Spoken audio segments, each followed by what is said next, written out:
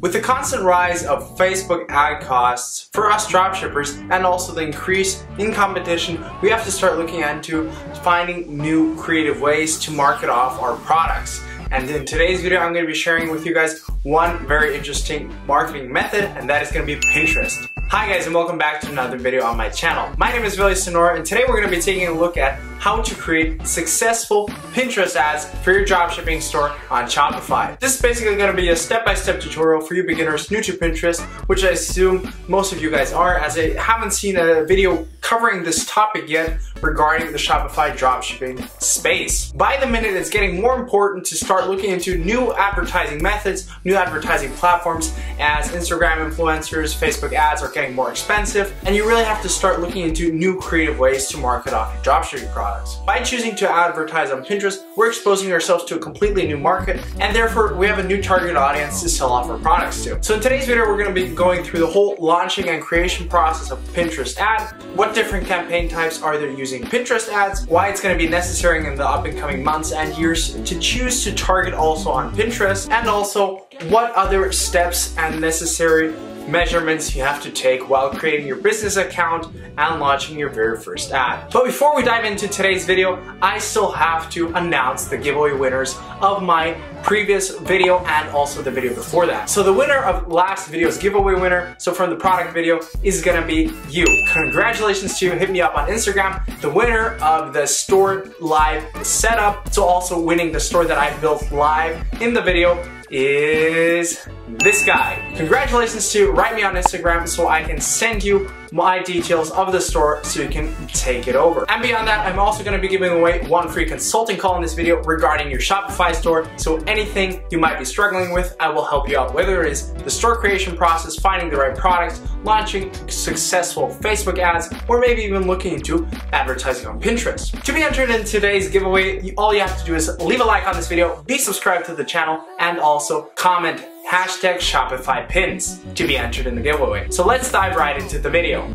We want to start off by taking a look at the Pinterest buyer intent. 90% of weekly users are looking on Pinterest to make purchasing decisions. So definitely a great benefit that we have on marketing on Pinterest. 55% of users said they log in onto Pinterest to find new products. So as you guys can see, Pinterest users are really looking on Pinterest to find new products that they might be interested in. 50% of Pinterest users say they buy something after seeing a promoted pin slash ad. Promoted pins are basically another term for Pinterest ads. At number four, Pinterest is about four times more effective at generating sales than any other social media platform. So beyond these statistics, why should you look into advertising on Pinterest? First of all, Pinterest is an actively growing new social media platform. They're consistently rising and therefore a new and untapped marketplace for us dropshippers to advertise on. Not a lot of people are taking action and advertising their products on Pinterest as in comparison Facebook ads and also influencer marketing. And I'm pretty sure most of you guys will be familiar with the fact that Facebook ads are getting more expensive by the day, by the month, by the year. And therefore, especially new dropshippers with a little bit of a lower budget have to look into different advertising methods as Facebook ads will be tougher to receive very good results with. The CPM is getting more expensive, the CPC is getting more expensive, and it will cost us more to get a person to buy our product. And therefore, we have to look into choosing different advertising methods. Another hidden benefit is that pins last for months or years. Therefore, we have a consistent organic traffic source, bringing in new customers, new people that might be interested in our products. A benefit that we might not have in comparison to the other social media marketing platforms. For those of you unfamiliar with Pinterest and their browsing page, this is basically how it looks like. This is my personal accounts that I actually set up for this. And as you guys can see, lots of different pins. You can create your account on your personal preferences of your interests. So let's say you're interested in fashion, you're interested in maybe motivational sayings, some infographics, or maybe cars, sports, whatever you name it. And there are different criteria which you can optimize your feed to be. So first of all, we want to distinguish the difference between a normal pin and also a promoted advertised pin. So if we take a look at this one, gets big arms, basically some kind of different drills and exercises to do to increase your arms uh, basically anything to do with working out. This is a normal pin and as you guys can see, we click on it once and to click on it again, we basically have to do a double click to get to their page, whether this is a blog post or a shopping page, whatever. So in this case, it's a blog post and it is a normal pin that is promoted into our normal browsing page. Promoted pins Advertised pins are very easy to recognize and distinguish from normal pins as you will see promoted by so and so forth on the bottom of the pin. And with this, you just have to click on it once and then you're automatically pushed on through to the product page. This is a great benefit in comparison to Instagram especially as usually when you promote via Instagram, you will only have a product link in the bio. And in this way, we're only one click away from sending our potential customers to our landing page. So one step less for our potential customers for us to convert into a sale. Some of the best niches to advertise on Pinterest are gonna be fashion, home decor, fitness, health, cooking, pets, or also anything around parenting and your babies and your children. So those would be the best niches and products you should sell off using Pinterest. There are currently over 300 million active monthly users on Pinterest, so an insane statistic right there, and over 85 million of those are from the USA alone. So regarding advertising and creating pins for your Pinterest board, wall, and also to advertise these pins, you will definitely have to make sure that you have the right pin size. Another benefit you will have when advertising on Pinterest is to have multiple pins. In this case, the Pinterest algorithm favors your pins and you will be pushed out to a broader audience. So make sure you're split testing different pins in this case to see which one performs best and also when posting pins organically. As in order to fit into the feed, they will have to be horizontal images, in the best case scenario a 2 to 3 to a 1 to 2 ratio. And they also have to have a minimum of 600 times 900 pixel size. So this might mean you will have to create extra individual images just only for Pinterest. This might be quite tedious and annoying, but using Canva this can be easy to set up and you can easily create pins using these multiple templates from Canva. So if we just take this one as an example, as we're doing a completely example store, um, we're not showing any particular products off. As this is an example, we're not gonna really look into this too much. We're gonna download this and we're gonna upload this later on our Pinterest wall so we can promote this pin. So in order to start advertising on Pinterest, you'll have to set up a business account. This isn't too difficult to set up, so for that reason, I'm gonna skip this step and this process. So this is basically the ad dashboard of Pinterest. Right here, you have your business account. So in this case, example store, that's what I named my business account for this one, as this is just an example. Right here, you can create a pin, create a story pin, or create an ad. They're still working on implementing a story pin, and that will change the feature and the way Pinterest looks. So as soon as this is live, maybe actually look into starting advertising via the story pin, as I do believe the CPC and CPM will be much lower in comparison. And also, if you start looking into advertising on Pinterest, you will get contacted by a Pinterest support member. They will really help you out to learn the fundamentals and also the basics of advertising on Pinterest. So this is basically the dashboard of the ads menu.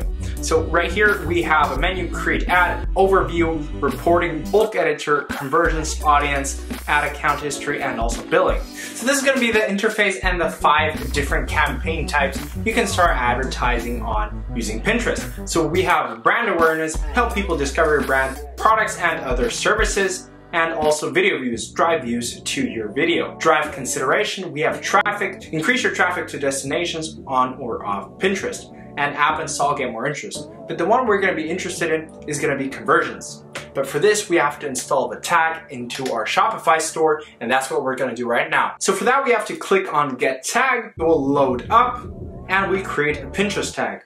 This way we can track conversions, measure results, and build audiences, so similar to the Facebook Pixel. So we create a Pinterest tag, and this is basically the, the, whole tutorial how to set it up and how to integrate it into your store. And we're just gonna integrate this tag into the store we created a few videos ago. So basically we're just gonna call it example store tag Obviously, call it appropriately to your store, your brand name. So this is our uniquely created tag ID, this number, and it also shows up down here. So we're just gonna basically copy all of this and we're gonna integrate it into our Shopify site. So now we're into the Shopify interface and now we go under edit code and we're gonna be looking for the head section under theme liquid. We're gonna want to install this right above right here. So all we're gonna have to do is copy paste and we're gonna delete this Pinterest tag part and we save it. So now the Pinterest tag is integrated and we're tracking any conversions and any data that is coming through Pinterest onto our Shopify site. And you can also integrate other different event codes that trigger it, whether it's a checkout, add to cart, page visit, sign up, watch video, lead, search, view category, or other defined events that you might choose. So that is really up to you. And you can also look into doing this if you want to do more advanced tracking. And if you still struggle to integrate and install your code, you can basically download the Chrome extension or contact the support. They'd be glad to help you out with your problems. So now we've installed the Pinterest tag onto our store, but in order for us to optimize for conversions, we're gonna have to reach at least 50 conversions in the next seven days. So we're gonna be diving into creating a traffic ad. So we've already got traffic clicked on, and we're just gonna change the campaign name whatever you might name it, whatever you want to structure it. We're just gonna call it traffic campaign example. And here you can choose the daily spend limit or you can also choose the lifetime spend limit. So as soon as this amount is done, this ad will be done for. And you can also choose to pause the campaign after reaching a specific limit. And we're just gonna go with a daily spend limit of 10 euros. We're gonna continue, and now we have an audience and targeting to choose from. We can go into create new audience right here, and we could create an audience that we could copy paste across all different new ads, but we're just gonna add interest right here. So let's say we wanna market off the product that we created in the store setup a few videos ago. So we would choose this product, and for that we would wanna choose a very good targeting method and also interest. So for this I would look under mainly men's fashion or sport or travel. So we're just gonna take a look at men's fashion and right here, lots of different keywords pop up, different under categories. So we're just gonna go under men's accessories and then we're gonna look at keywords that pop under men's bag.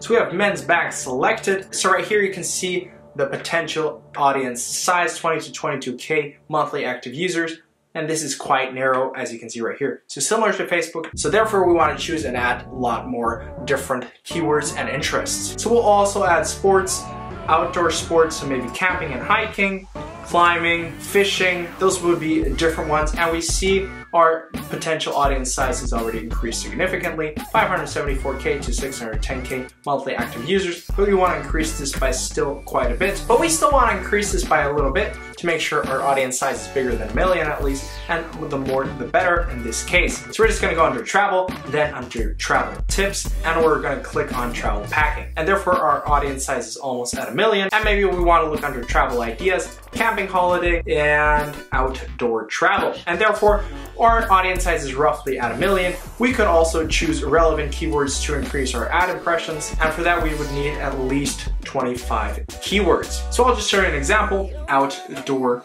camping. Right here, you got the monthly searches right here. And we want to choose the bigger ones, so we're just going to go with outdoor spaces. We have lots of different broad keywords that are suggested to us, so we can easily just choose from them. Trekking would be another option, but there aren't a lot of bigger keywords. We're just going to go with hiking vacations down the bottom. We're going to do camping, camping Christmas, as this could be a potential Christmas idea, Christmas gift idea, and then camping fashion, camping items, camping trip, and so forth. So we would want to reach at least 25 keywords. And now we come down to more precise targeting. So we can either go with all genders, we can also choose specific genders. Let's just say we go with male only or unspecified, but we're gonna choose both. And also for the ages, we could go with all ages, pick specific ages or 21 plus required for age restricted advertising. We're gonna go pick specific ages and we're just gonna exclude 65 plus maybe 55 to 64, and this is gonna be our main audience. And then we can choose by locations, all Germany locations. Depending where you're currently situated, it will change for you. As I'm currently living in Germany, obviously it says Germany locations for you. Whether you're in US, it will say USA, or maybe UK, you would be UK, so in England or Ireland, etc. So we can choose pick specific locations and we're just gonna select all. And right now, our potential audience size increased significantly up to 11.5 to 12.3 million monthly active users. As you guys can see, it's not still too broad, we're just right in the middle, so that is good to have. And now we're gonna choose, instead of all languages, we're gonna choose specific languages. We're gonna dis-select all, and we're gonna choose English users only, as we're only gonna be advertising in English. Depending on which country you're selling your products to, you can also choose German only, or French only, Danish only, that is up to you. But by choosing English only, our potential audience size obviously decreased up to 8.3 to 9.2 million monthly active users, which is still very good. And right here, you could also choose all devices or pick specific devices, only Android, iPad, web, whatever. And under the advanced options, you could choose also the ad group placement. All is recommended. You could also choose browse. So in this case, that would be the targeting we chose in particular, or by search, that would mainly go by the keywords we've chosen. Under budget and schedule, we determine our budget for our pin, for our promoted pin, our ad. We can either go with daily budget or lifetime budget. We can choose also the starting time for the daily budget and also the ending time, same for the lifetime budget. So we're just gonna go with lifetime budget of $100 and we're going to go down and we can also choose our specific bid, our CPC bid, and we really want to compete with the best possible bid. So with the low bid of 60 cents in euros, we're on the lower side of this, but the ad will still be played out. So we're just gonna go with 250, and with this we should have a strong bid. Obviously the weaker your bid is, to the less people your ad will be put out, but in this case, we wanna have the strongest bid possible. If your bid is lower, it will still get put out to the audience, just not the same quality of audience and in the same amount of time. Pacing is standard, that is recommended. You could also choose accelerated, so your ad will be put out to a bigger amount of audience in a quicker time. And at the bottom, we would click on create pin right here. So we're just gonna do that right away. I have to blur this out as this is my current ad account that I'm running ads for my store to. And right here, you would just drag and drop or click to create upload images and we're just gonna upload the image that we created simply via Canva. Obviously, this is not the item or the product that we're using, but it fits perfectly for our pin.